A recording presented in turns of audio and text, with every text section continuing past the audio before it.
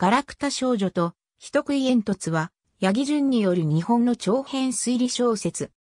2012年8月に宝島社より出版された S のための覚書かごめそう連続殺人事件の桜木シリーズの続編として八木淳が Kindle にて出版した。シリーズものであれば同じ出版社から出されるのが通例だが、この作品を Kindle ストアでの個人出版とした理由について前作が売れなかったため、様々な条件をクリアできず2作目を刊行することができなかった。またシリーズものであるため、他の出版社に持ち込むことができなかったことに加え、作品内に登場する架空の疾患である赤あざ病について、実在のある疾患とその歴史的背景をモデルとしているからだと作者自身が説明している。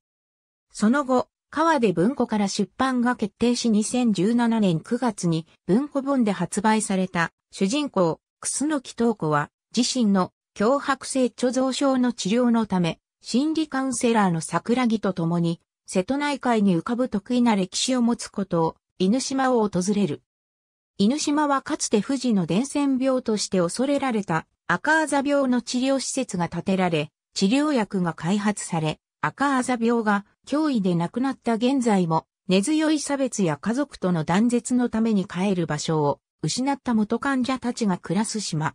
二人が島に到着した日、人食い煙突と呼ばれる火葬場の煙突の下で、嵐の中、東子の叔父である友の慶三郎が首なし死体となって発見された。